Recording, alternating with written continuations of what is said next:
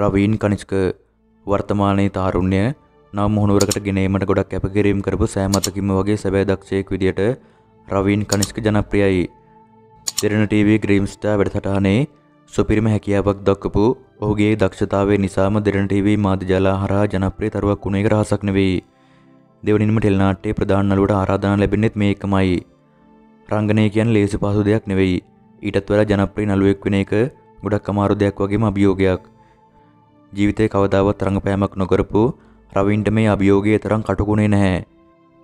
ඒ ඔහු අභියෝගවලට මුහුණ දීමට නිරන්තරයෙන් කැපවී සිටින නිසා බව නෙත් එපෙන් මාධ්‍ය සාකච්ඡාවට එක්කමින් කියා සිටියා. ඉතින් ඒ කැපවීම උත්සාහය නිසාම ජනප්‍රිය නළුවා සම්මානය දක්වා ජනතාව රවීන් ඔසවා තැබුවා. මේ ජනප්‍රියත්වයත් එක්ක රවීන්ට ගොඩක් දෙවල් ලැබුණත් රවීන් කනිෂ්කට ආදරය කරන ප්‍රේක්ෂකයෝ කවදාවත් ඔහුගේ බිරිඳ දැකලා නැහැ. ගොඩක් දෙනෙක් හොයපු සහ හොයන රවීන්ගේ බිරිඳ කවදාවත් අපිට දැක්ගන්න ලැබෙන එකක් නැද්ද? රවීන් තමන්ගේ බිරිඳ මේ තරම්ම රහසක් කරගන්න හේතුව මොකද්ද? මේ ප්‍රශ්නයට රවින් පිළිතුරක් දුන්නේ මීට මාස 3කට විතර උඩදී.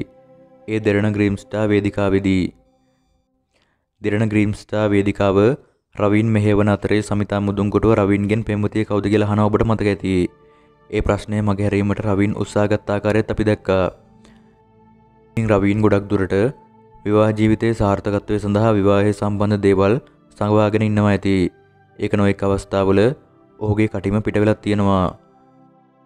රවින් කනිෂ්කගේ බිරිඳ ඔහු ප්‍රසිද්ධ නොකිරීම ගැන ඔබට මොකද හිතෙන්නේ? ඉතින් මේ පිළිබඳව ඔබගේ අදහසත් පාලින් කමෙන්ට් කරගෙන මතක් කරන්න එපා.